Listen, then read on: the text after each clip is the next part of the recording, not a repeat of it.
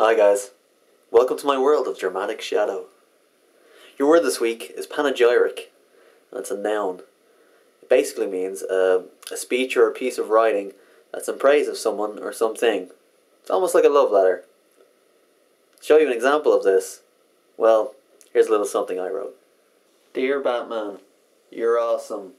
When I grow up, I want to be just like you, except I want my parents to still be alive. And I could do without the preteen boy following me around. But your car is really cool, and you have a freaking butler. How ballin' is that? You're really strong, and when you punch bad guys in the face, it's super neato, because there's blood and teeth and junk. When I punch people in the face, they just kick me in the nuts, and then I cry. A lot. You also have lots of smoking hot ladies, like Batgirl or Batwoman or Bat Lady. I can't remember which, but she's totally sexy, and I definitely would. Oh, and Catwoman, but not that Halle Berry one. She was stupid.